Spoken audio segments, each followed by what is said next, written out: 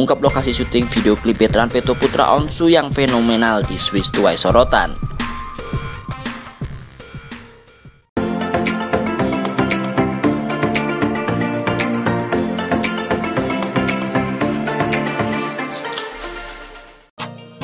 Veteran Peto Putra Onsu, sulung pasangan Ruben Onsu dan Sarwenda, mempunyai segudang talenta di usianya yang kini dewasa.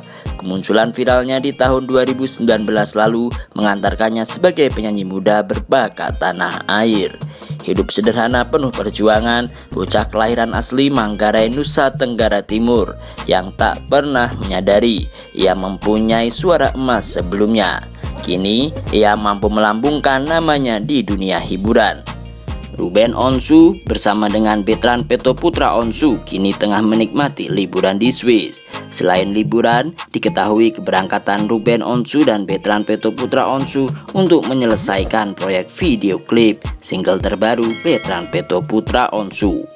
Single yang disinyalir berjudul Setengah Hati tersebut bakalan menjadi single pertama yang video klipnya dibuat di luar negeri. Hal tersebut merupakan pencapaian terbaru Betran Peto Putra Onsu dan tim untuk membuka kesempatan dengan kualitas terbaik karya tim MOP untuk go internasional.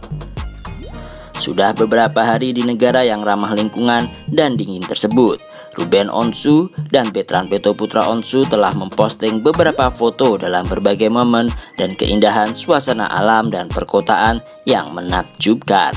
Selain itu, sebagai sang ayah yang selalu mendampingi, Ruben Onsu mengatakan agar Onyo semangat menjalankan tugas dan pekerjaannya. Mari kita mulai nyo lakukan dengan hati, tulis Ruben Onsu dalam caption di Instagramnya beberapa hari lalu. Hal tersebut merupakan kali pertama Onyo sapaan akrabnya membuat video klip di luar negeri. Namun, terdapat satu yang istimewa akan lokasi syuting video klip Betran Peto Putra Onsu kali ini.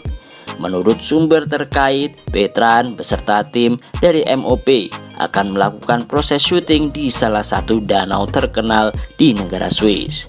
Danau tersebut bernama Danau Brins, danau yang indah yang dikelilingi perbukitan Swiss dengan pemandangan salju yang memukau tersebut merupakan destinasi terbaik yang sering dikunjungi artis maupun pesohor dunia.